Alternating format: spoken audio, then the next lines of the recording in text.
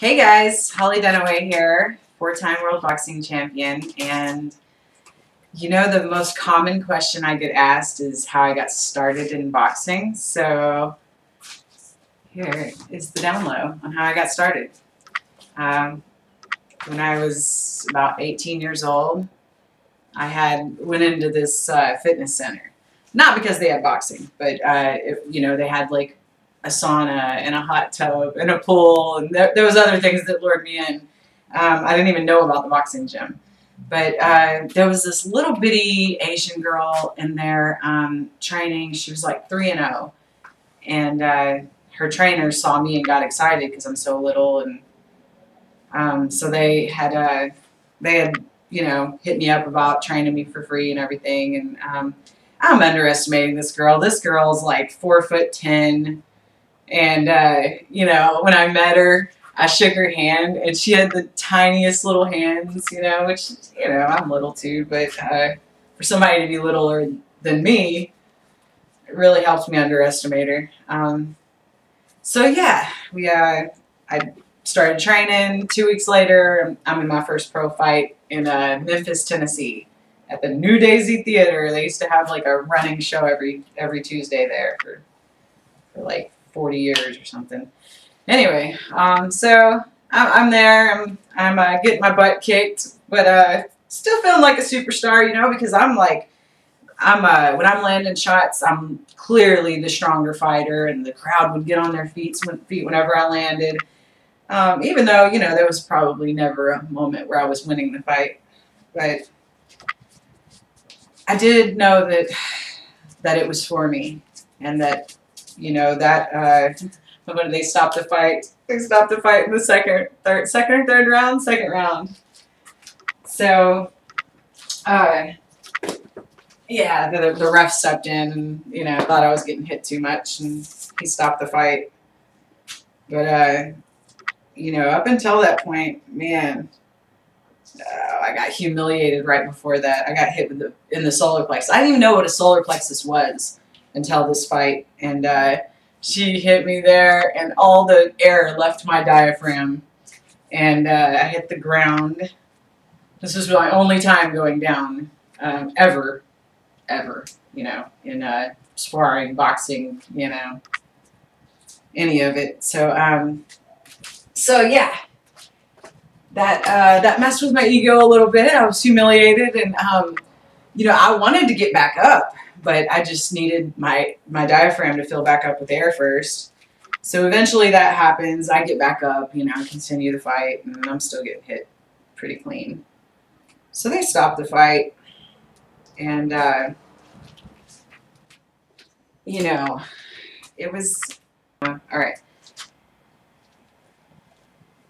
So I ended up stopping that fight, and, you know, I lost by TKO in the second round and you know it, it, sucked but at the same time it was uh, it let me know this is what I want to do and I don't want to lose anymore so you just could not keep me out of the gym after that. And I really dedicated my life to it and told my parents like I'm gonna be a world champion and giving up the you know the dream of college and all that and they just didn't really believe in me the way I did at the moment.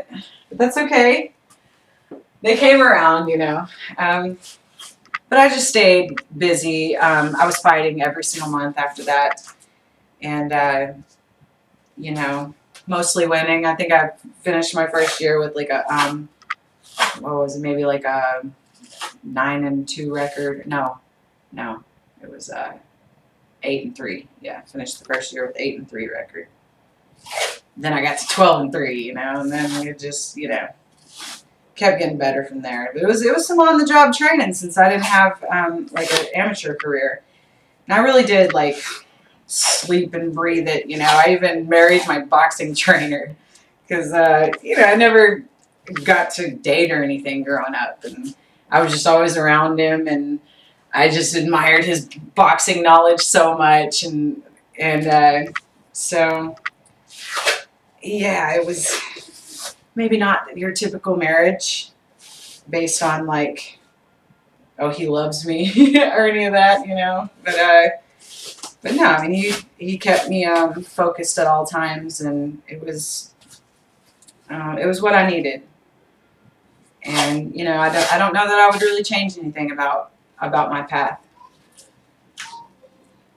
Um, so,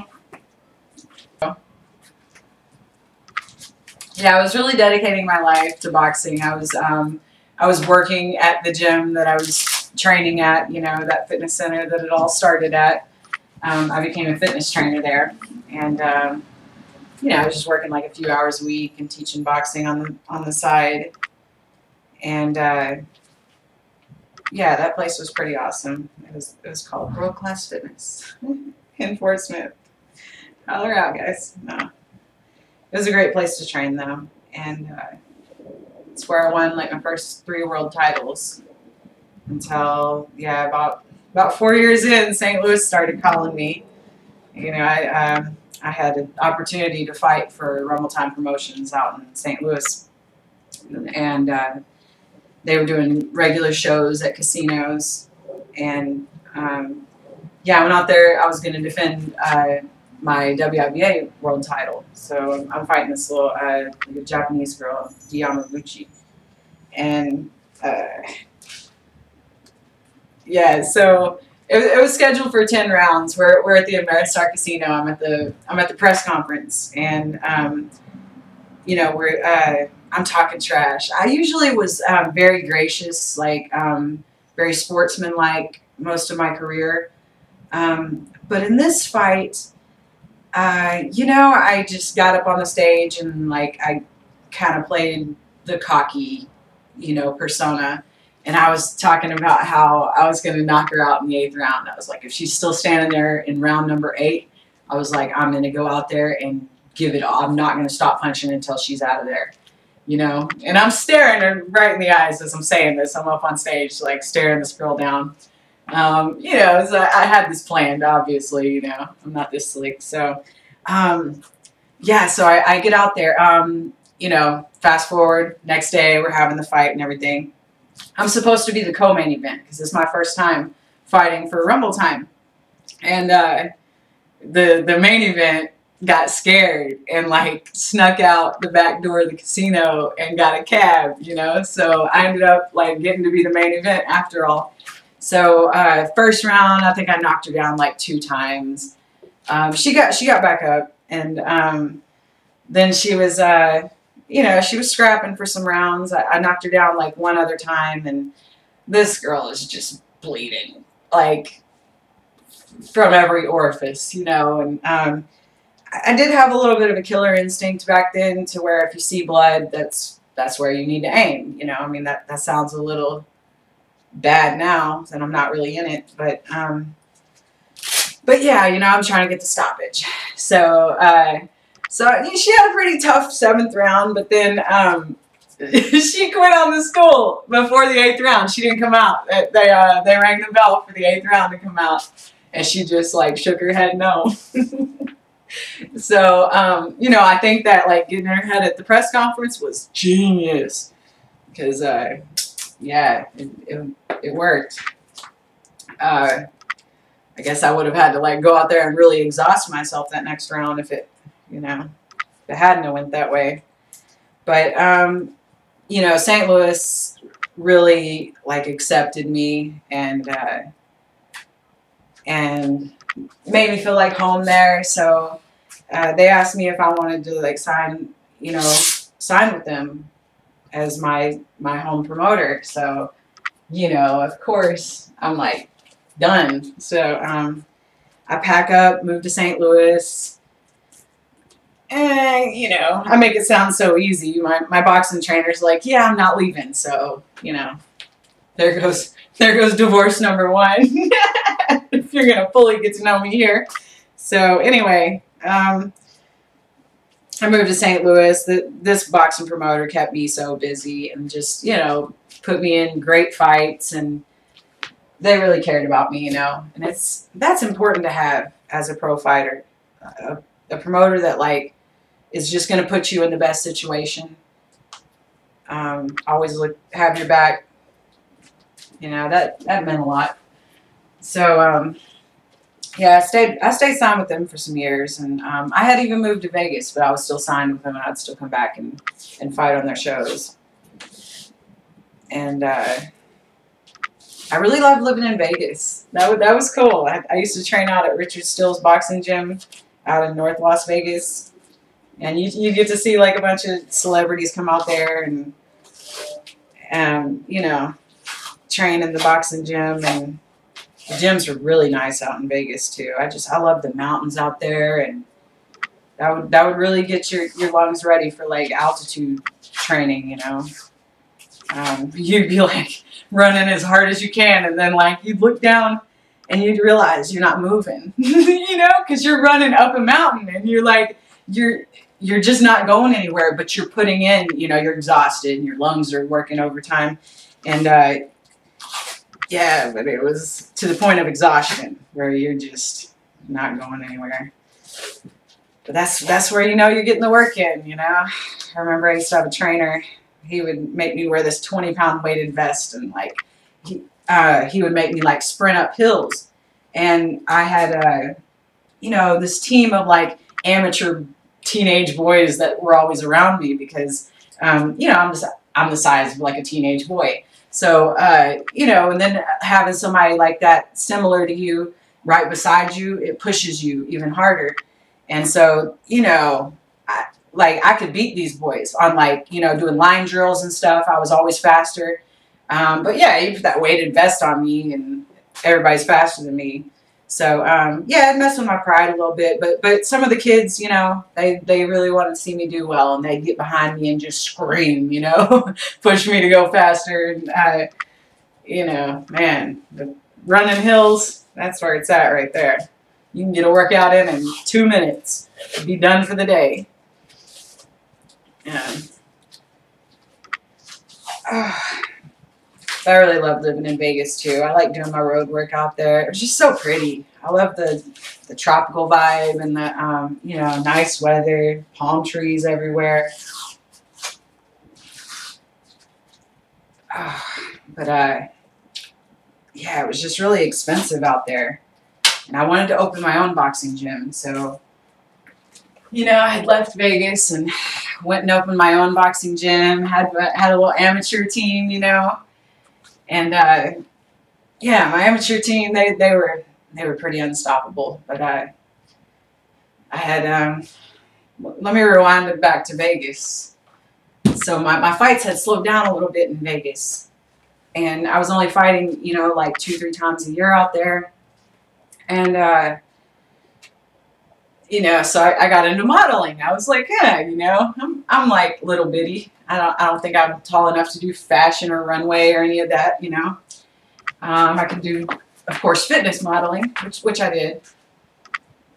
And uh, anyway, I was just like, yeah, I'm kind of a free bird anyway. Let me let me try and uh, take my clothes off for like a major magazine, you know, and see if I could get in. So I did a little test shoot for um, for Penthouse, and uh, and I got in the magazine. I did like a ten page spread, my first time ever get naked, you know it was like two photographers shooting me like spreading like hello world. And uh, you know it was boxing theme. It was tasteful and everything. As tasteful as full nude spread you can get. Um, but yeah it was a it was a double double issue. And um, you know it really like kind of helped my boxing career a little bit you know?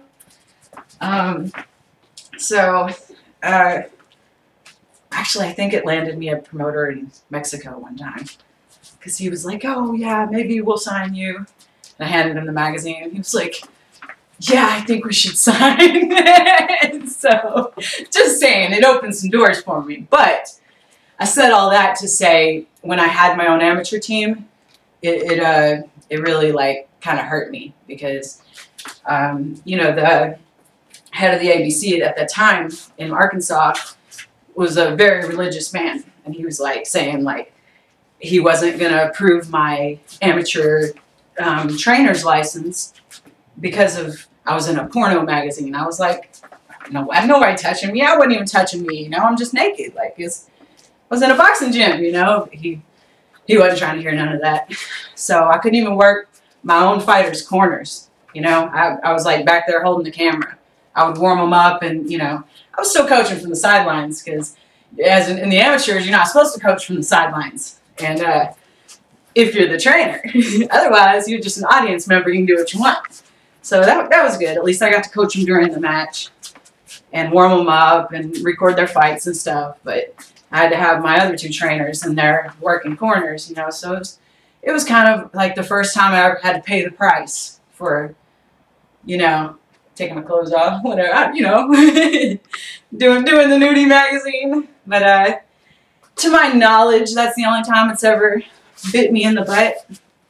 Um, but who knows how many opportunities I missed out on that, you know, maybe didn't even come my way that would have if they hadn't seen me looking hot naked. so ran the amateur gym for for a while, training people and it was a lot more work than I thought it was going to be. I was I was 25 and you know, still boxing professionally. It's tough to train people all day long and then you know, like feel like doing road work and conditioning and boxing. Like you got to separate that. You have to you got to split it up into like two to three workouts every day. That way you can give 100% at everything. So um yeah, I guess I could pay attention to my shadow boxing a little bit here, huh? Quit running my mouth so much. So, yeah, you got you got to really like split up your run and take like a couple hour break and eat something and really relax, and then then you can do your boxing workout, and then at late at night or something you can just focus on conditioning. You know, you don't want to do any like weights as a boxer because that'll destroy your flexibility. You need to be able to like stretch those things out of their socket, you know? that way you can get a couple extra reaches, uh, inches of reach. So you're doing a lot of like plyometrics, you know, push-ups and um, jumping push-ups and jumping onto blocks doing push-ups and pulling your own body weight.